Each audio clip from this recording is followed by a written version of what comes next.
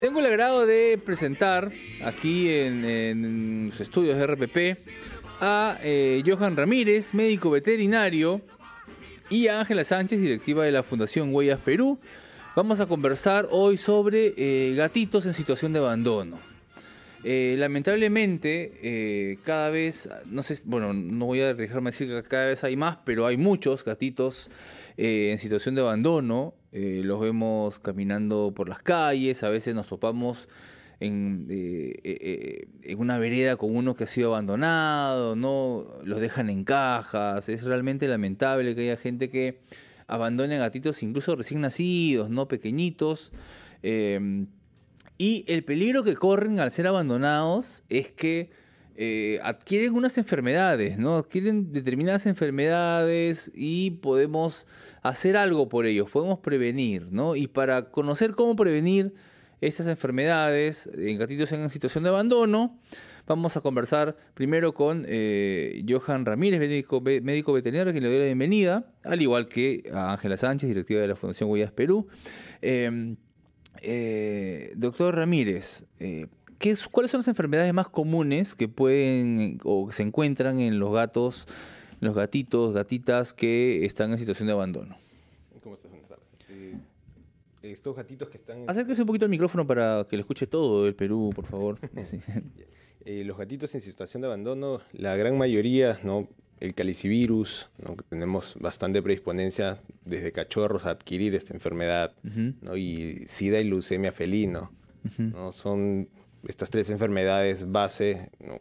Que cualquier gatito... en El es- calicivirus, porque la leucemia y el, el SIDA. el SIDA gat- gatuno, es un poquito, son, son relativamente conocidos, ¿no? Claro, son Eh, los más famosos. por Exactamente, pero la calemis, ¿cómo se llama? Calicivirus. Calicivirus, ¿qué es lo que produce un gatito? eh, nos genera destrucción de la dentina, la parte brillante de los dientes. Ya. ¿no? Nos Ah, genera unas aftas, unas llagas en la boca, en la lengua. Lo Ya. particular suele ser en la lengua.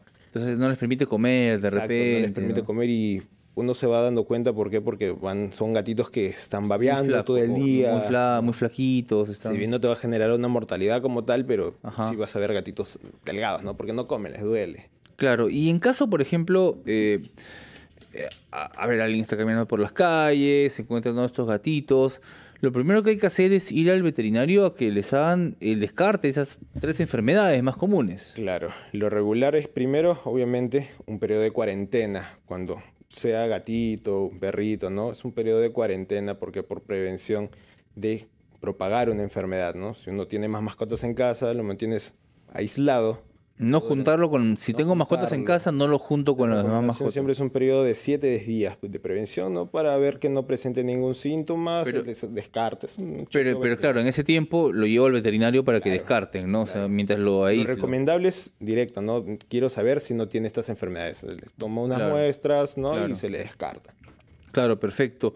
Y eh, entiendo que la leucemia, ¿cuál era la, la- Calicivirus. el, calicivirus, la leucemia, el SIDA, son los tres son curables, son incurables. Son tratables. Los tres. Los tres son tratables, más no curables. Ninguno es curable. No. Tampoco calicivirus. portador. Ya, son Un animal portador de la enfermedad, ¿no? es darles calidad de vida nomás entonces. Claro, es darle una buena calidad de vida, ¿no? Ya. Ya uno como propietario luego ya sabes y el veterinario, nosotros como veterinarios, no, tenemos el deber de comunicar, informarle al público, ¿no? Eh, qué sintomatología, ¿no? Qué cuadros puede presentar el gatito, ¿no? A la larga. Entonces, por ejemplo, si descubrimos que eh, el gatito que encontramos en la calle, abandonado, eh, tiene uno de estos eh, virus, ¿no? Son uno de estos virus, eh, y nosotros tenemos animalitos en la casa, Claro. y la recomendación, imagino que va a ser no- no- que no lo podemos tener, Claro. porque los van a contagiar. Claro, obviamente uno quiere apoyar, quiere ayudar. ¿no? Claro. Pero siempre previniendo, ¿no? Es por eso que existen vacunas. ¿no? La vacuna disminuye drásticamente el porcentaje o el riesgo de contagio, ¿no? Obviamente que los gatitos de la calle no tienen sus vacunas. ¿no? Claro. A comparación de uno como propietario que sí debería preocuparse por mantener sus vacunas al día, ¿no? Sus refuerzos anuales para prevenir ese contagio, ¿no? Y la propagación precisamente de dichas enfermedades. Claro, claro. ¿Y, y qué recomendaciones eh, daría usted a quien encuentra, por ejemplo, un gatito eh, abandonado? ¿no? O sea, es decir, eh, más allá ya hemos tratado de, digamos, eh, descarte de las enfermedades, ¿no? Eh, eh, la adopción responsable, ¿qué implica?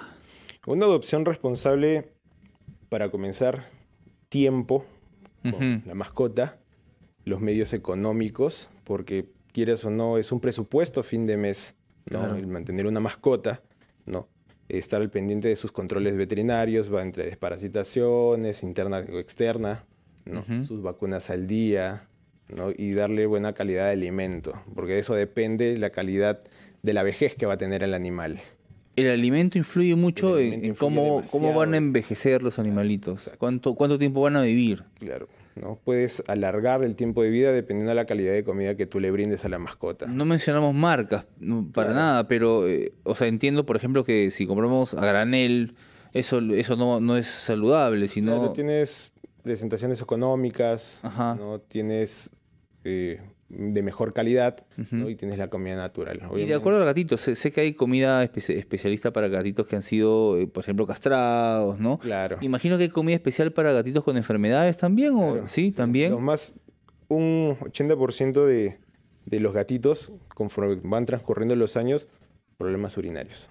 Claro, ese, ese- ese- ese es- Ese es su talón Fija. de Aquiles.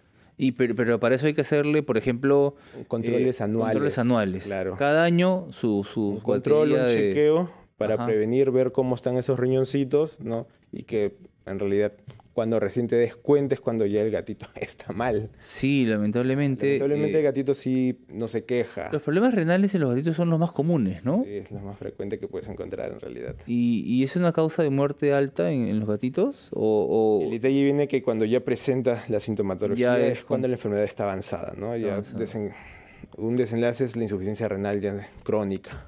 Si yo tengo un gatito, por ejemplo, que suele irse al, a- eh, a- al techo, va a tener más posibilidades de, de, de adquirir contagiarse si- Si, es enfermedades, que no tiene la vacuna. eh, ¿no? claro, Entiendo. de adquirir enfermedades. Perfecto. Eh, vamos a ir a una pausa, pero de inmediato, regresando, eh, vamos a conversar con Ángela Sánchez, directiva de la Fundación Huellas Perú, porque eh, además de seguir hablando de adopción responsable, hay un evento muy importante del cual tenemos que hablar, eh, que tiene que ver con justamente, eh, eh, digamos, adopción. ¿no? Con adopción responsable, con cuidado de gatitos. Vamos a a una pausa y regresamos con más en 100. Ahora quiero conversar con Ángela Sánchez, eh, directiva de la Fundación Huellas Perú, porque se está anunciando un eh, Gato Fest. El Gato Fest 2024, que es una suerte, una maratónica teletón para beneficiar a los gatitos del Parque Kennedy. El Parque Kennedy en el distrito limeño de Miraflores eh, es uno de los puntos donde más abandonan gatos, creo, eh, en la ciudad, ¿no? Simplemente los dejan ahí y uno piensa que van a estar bien, pero en realidad están a la intemperie, están expuestos a la lluvia, al frío. Eh, quisiera que me cuentes un poco más, por favor, eh, Ángela, acerca de esta teletón para beneficiar a los gatitos que están buscando. Si, bueno, evidentemente promueven la adopción responsable, el tema de qué es lo que vamos a poder, eh, los que asistamos, eh, encontrar en esa teletón. Y cuándo va a ser, al, al fin y al cabo, también, ¿no? Correcto. Gracias, Diego, por la oportunidad. Sí, efectivamente, eh, esta maratónica Teletón se va a realizar eh, desde el viernes 8 al domingo 10, desde las 9 de la mañana hasta las 7 de la noche, y es precisamente a favor de los gatitos del Parque Kennedy. Es un evento donde es una iniciativa ciudadana que hemos recibido el llamado de la Municipalidad de Miraflores precisamente para, entre todas las acciones protectoras, velar por el bienestar de los gatitos que están en el parque. Ellos los han llamado para que... para- Exactamente, Ajá. estamos trabajando en conjunto con la municipalidad para ver acciones que promuevan no solamente la adopción de, las- de los gatitos del Parque Kennedy, sino también beneficiarlos. En, en este sentido, este evento se ha creado por segunda edición, recolectar el alimento balanceado para que tengan un año eh, tranquilamente su, su comida. ¿no? Y ustedes, eh, Huellas, Pe- Huellas Perú, Huellas ¿no? Perú. Huellas Perú van a... eh, quieren, ¿Tienen una meta? ¿Llegar a cuántos? La meta es 6 toneladas los gatitos. 6 eh, toneladas. De alimento porque- balanceado. Porque ¿Cuántos gatos hay en el Parque Kennedy Aproximadamente aproximadamente? más de 200 gatitos y no solamente en el Parque Kennedy, sino también en hogares temporales de otras asociaciones. Ajá. Eh, porque la gente está, se está acostumbrando a, a creen que es un botadero o creen que es un sitio de dejar los gatos y no saben realmente la, la, realidad que ellos están pasando hambre, están pasando enfermedades propias del Parque Kennedy. Y esas toneladas de alimento ustedes las van a administrar para que eh, cubran un año, me, me decía fuera de micrófono de alimentación para estos gatitos. El año pasado eh, hicimos eh, la primera edición del Gato Fest, llegamos a ciertas toneladas, casi la mitad de toneladas, y entonces estamos tratando de cubrir las otras toneladas para que pueda tener todo el año tranquilamente este, abastecidos de alimento balanceado. Y en cuanto a adopción, eh, por ejemplo, ¿va a haber también oportunidad de que alguien se acerque y pueda adoptar alguno de los gatitos? Sí, correcto. También vamos a tener eh, los tres días, vamos a tener campañas de adopción. Va a haber también eh, la, feria más grande de marcas de productos cat lovers, o sea, todos los pet lovers y cat lovers que deseen ayudar también a, esta, a esta iniciativa, pueden acercarse los tres días a Miraflores, en el corazón de Miraflores, vamos a estar en el mismo Parque Kennedy, al costado de la iglesia, ahí vamos a estar. Y va a haber también otras activaciones que les va a permitir a la gente pasar un momento agradable en familia y a la vez colaborar. Eh, por ejemplo, cantar el gato volador, podría ser un. sí, va a estar también el gato con botas, va a haber sesión fotográfica, va a haber rifas, las marcas auspiciadoras van a regalarles. A bingo, me dicen que va a haber un. Va a haber un bingo. Todo eso a favor de la, de, la comida para. Exacto. Todo es para recaudar alimento para llegar a la meta de las 6 toneladas. Y cómo, por ejemplo, se me ocurre, claro, como hemos hablado con el doctor. Eh, Johan Ramírez, médico veterinario, los gatitos que están expuestos en la, en la calle, todos están expuestos a enfermedades, ¿no?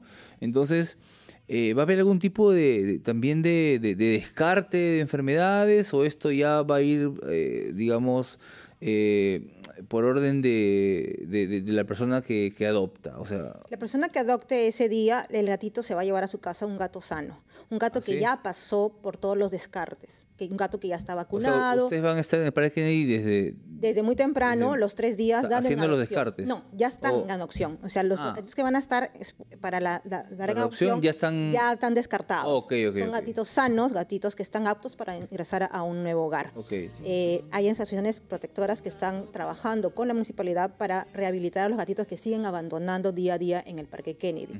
Eh, hay también gatas que están preñadas que las abandonan, eh, gatitos muy chiquititos o crías que día a día abandonan en este parque. ¿no?